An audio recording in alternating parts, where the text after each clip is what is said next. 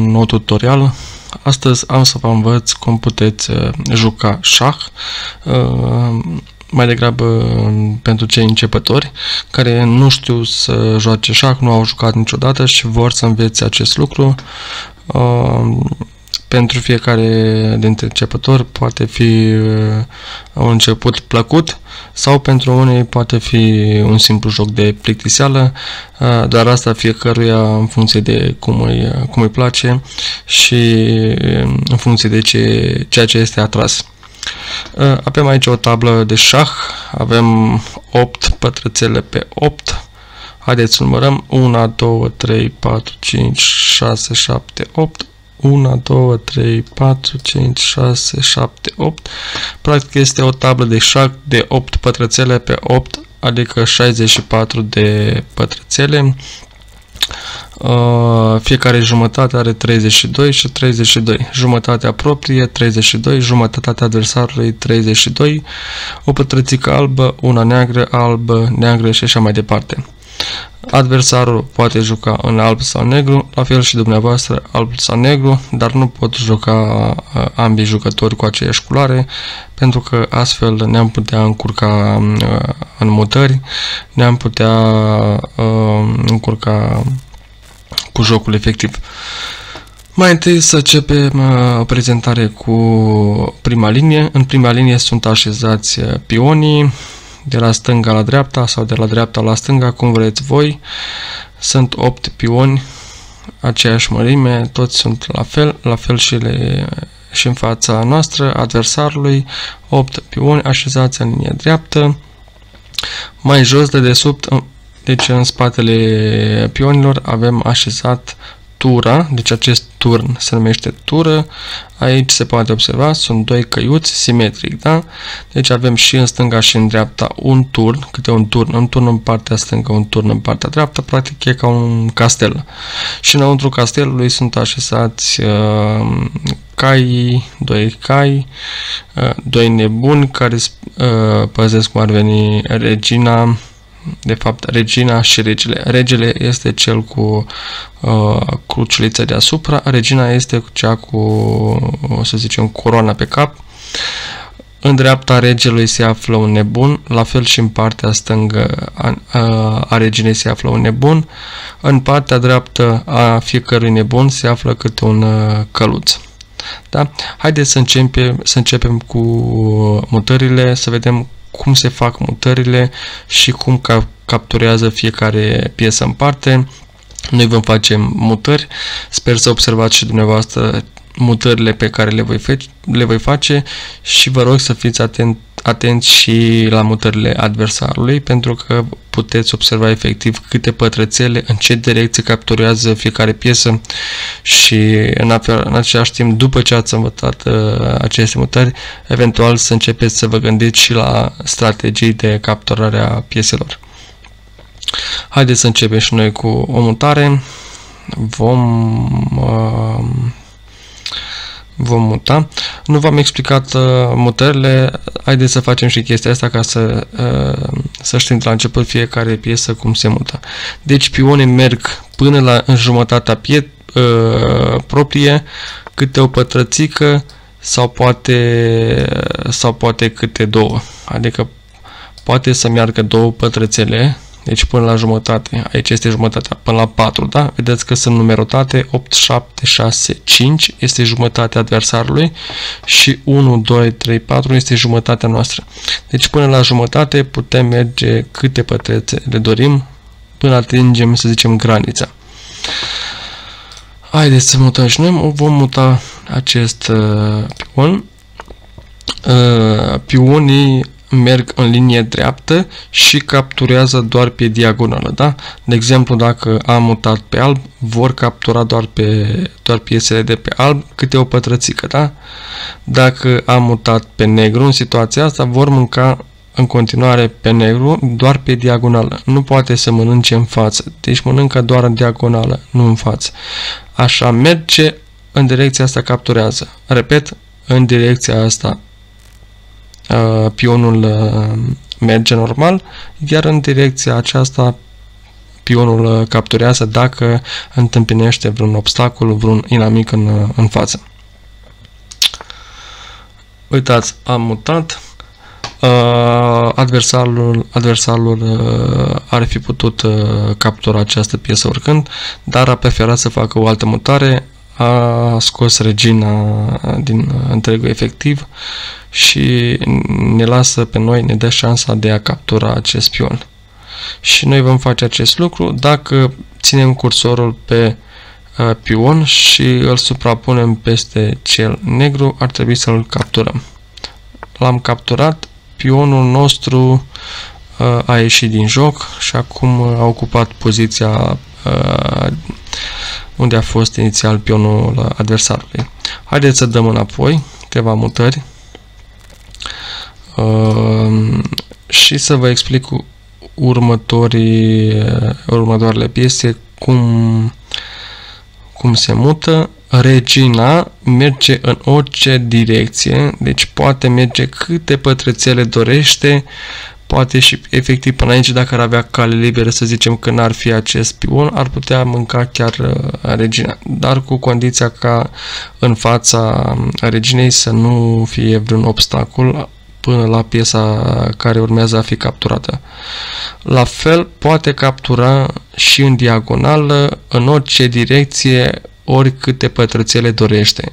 Deci nu are nicio restricție, poate efectiv să meargă pe linie, să captureze pe linie în orice direcție și repet, ori câte pătrățele dorește. Nebunul merge în diagonală și tot în diagonală acesta capturează la fel câte pătrățele dorește, dar doar în diagonală. Repet, doar în diagonală, singura excepție, da? Uh, față de regină este că nu, nu merge în toate direcții, nu merge în cruce, ci în X. În X, în diagonală, da? Câte pătrățele și capturează la fel în, în diagonală. Căluțul nostru, să zicem căluțul acesta, uh, dacă observați, ne arată niște circulețe, da? Uh, toate mutările posibile care pot fi făcute din, din poziția inițială. Da? Deci eu pot muta pe poziția 3 de aici, 3, 3, da? În formă de L, da? Un L, ăsta este L, încă un L, așa, și de aici în sus, la stânga, încă un L. Deci calul merge în formă de L pe aceste cercuri care ni le arată și în în tabla de șah. Hai să zicem că vom muta aici, da? Ați observat mutarea adversarului, exact cum am spus și mai înainte, nebunul merge în uh, diagonală, la fel capturează și în diagonală. Dacă eu să zicem că voi lăsa acest căluț, da, uh, în față și îl voi lăsa pentru că nu am cum să să-l mut de aici pentru că uh, îmi acoperă poziția de șah. Deci dacă eu voi încerca să feresc acest căluț, nu va permite pentru că voi intra în poziție de șah. Practic voi crea o cale liberă uh, regelui. Uh, astfel, calul uh, protej, protejează, uh, cum zice, protejează poziția de șah și uh, e ca un fel de uh, zid, să zicem, în fața regelui. Noi vom amenința poziția nebunului cu un pion, da? dar îl vom muta aici pentru că dacă îl vom muta aici, va fi protejat de acest nebun, de acest pion, pentru că dacă el va intra pe poziția pionului aici, observați, el s-a retras, da? fiind amenințat de acest pion, dacă să zicem că l-ar fi mâncat, l-ar fi capturat pionul ăsta, ar fi intrat, intrat în gura acestui, acestui pion. Am ajuns și la tură, tura, tura merge în cruce, așa, merge câte pătrățele dorește, deci așa sau așa, da? Perpendicular merge și mănâncă, capturează la fel în această direcție, merge doar perpendicular, nu poate merge în zigzag pe, uh, pe diagonală. Uh, regele. Regele merge în orice direcție, la fel ca și regina, doar că față de regina, este, față de regina, regele este limitat, poate merge câte o pătrățică. Dacă regina merge în toate direcțiile și merge oricâte pătrățele dorește, regele este ceva mai limitat, acesta nu poate merge mai mult de o pătrățică. Uh, normal în uh, spații libere pe care acesta le are în, uh, în apropiere. Nu poate ocupa o poziție care deja este ocupată, să zicem, în locul pionului, pentru că este ocupată deja de un pion, doar în căsuțele libere învecinate uh, lui. De exemplu, aici.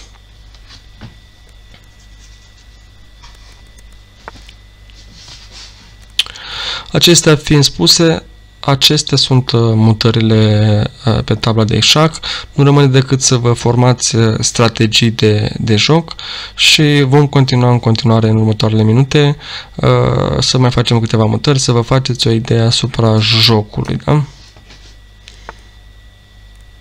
Așa, observați, adversarul a mutat un pion de aici aici și face loc turei, care poate fi oricând mutată aici sau aici.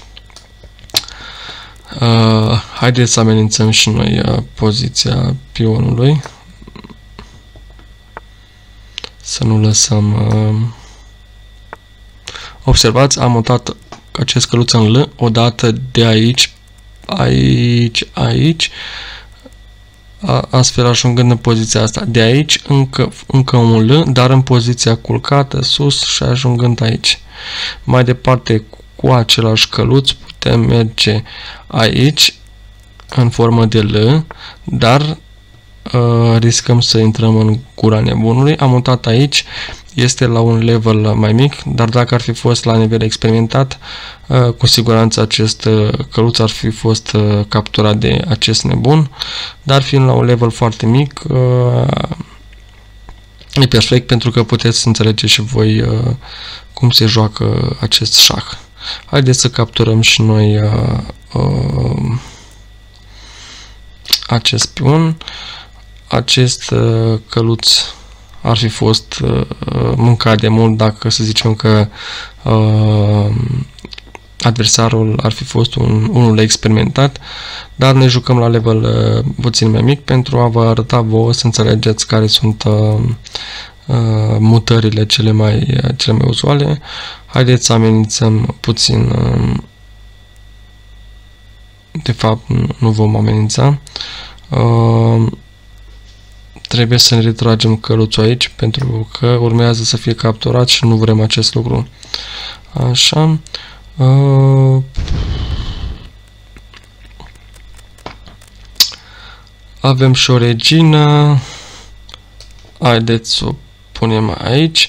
De ce o punem aici? Dacă o punem aici, riscăm să fie capturată de această tură, dar noi vom fi protejați la rândul nostru de acest căluț care uh, este aici.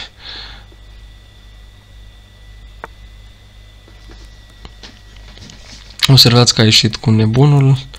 Uh, da, cam acestea au fost aceste mutări. Eu v-am arătat câteva mutări. Uh, nu am, să zicem, uh, dispoziția necesară de a juca un, un meci, doar am vrut să vă arăt uh, mutările, nu am concentrare acum ca să vă, uh, să, să vă arăt o partidă uh, de șah cap-coadă, doar uh, v-am V-am arătat mutările tuturor pieselor de pe tabla de șah.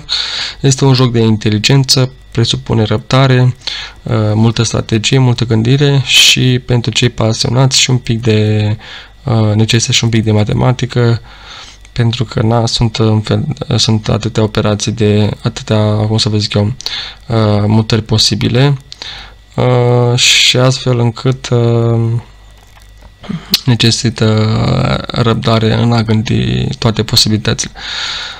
Eu am fost Alex de la video tutorial pe înțelesul tuturor. Dacă, vă, dacă acest videoclip v-a ajutat, nu uitați să dați un like, un share și un subscribe și ne auzim data viitoare cu un tutorial la fel de interesant ca acesta.